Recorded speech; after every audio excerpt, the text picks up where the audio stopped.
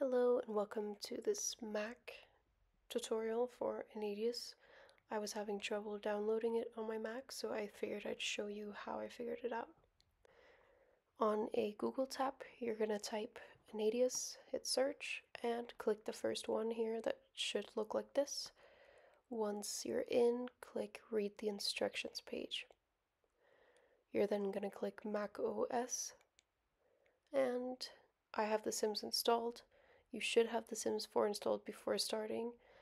Um, also, click the legit version of the game. You can download it for free from the EA website. So, clicking Sims 4 Updater and scrolling a bit down, you'll see this message saying that you don't have an ad blocker installed. You want to get an ad blocker installed. I'm just going to show you the one recommended by Anadius. Search up uBlock Origin Lite and click that Chrome Web Store link. Add to Chrome. Let it add extension. Let it download. And once it's downloaded, you want to hit that little extensions button, pin the extension, and you'll see different modes for filtering that I'll show later. Like here, the filtering mode, we're going to put it to complete, and you'll see the text will disappear.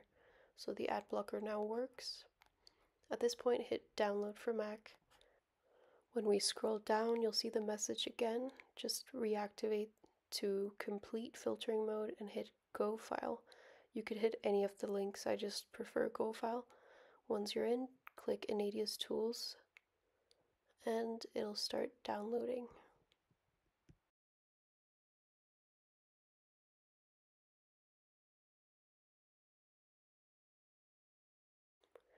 Once Anadius has downloaded, you're going to open up your Finder,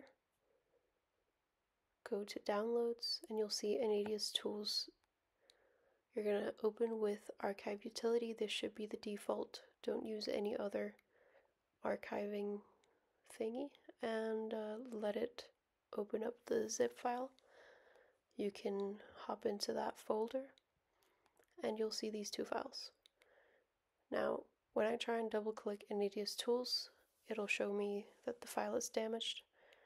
Don't move it to the bin, just hit cancel and then do the right click open to fix demand. For me, I get this right click open to fix app damaged, just hit done. Hop into system settings, privacy and security, scroll all the way down. You'll see this, hit open anyway. Click open anyway, use your password, and you'll see this. So for me, this doesn't work. I'm still going to do it, but that wasn't enough. As you can see, I still get the damage command. So I figured out that I had to hop into my system settings once again. Still in privacy and security, but we're going to scroll up and go to full disk access. Here you can see that terminal is already part of my full disk access but if it if it's not just hit the plus use your password and search up terminal. Click on the application open. It's going to ask you to quit and reopen it and as you can see it's now turned on so we're going to close that down hop back in I'm going to do the right click to open once again not sure if it's necessary but we're just doing it. I'm closing down the terminal windows and I'm going to click on Anadius Tools two times. Remember that Anadius Tools will open in the very back as the wine application and it'll open up and you'll see this. Once you're here, click Run Sims 4 Updater.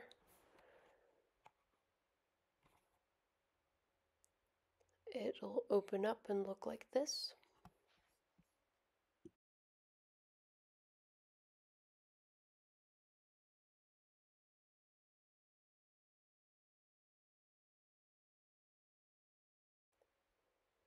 So once it's opened, you want to have that little tab there saying the Sims 4 packs. If it doesn't, hit browse and look up the Sims 4 packs. Now we're going to hit update. Inside update, you're going to see all these boxes. I don't have that many because I have all of the packs installed. I'm just missing the stuff packs. I'm just going to hit check all, that little box, and OK. It's going to ask if you want to play the game while updating. I'm just going to say no. And the update, well, not the update, but the download is going to start. And it'll take a while since it's running on public servers. But for me to download all the packs, uh, the expansion packs, it took about an hour and a half. It only took about 10 minutes because I was just downloading the stuff packs this time, but expect to be waiting a little bit. Once downloaded, you'll see this, and you can then close down those windows.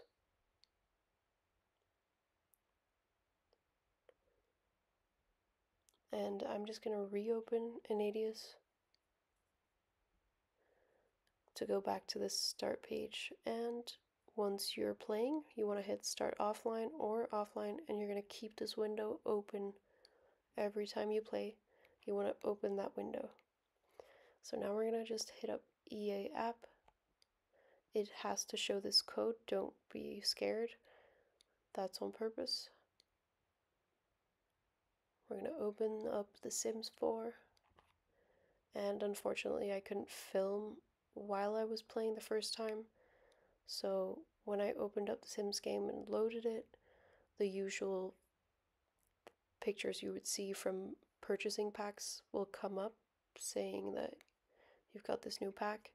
Um, that won't show, but I'll just show you inside the game that I now have all those stuff packs downloaded.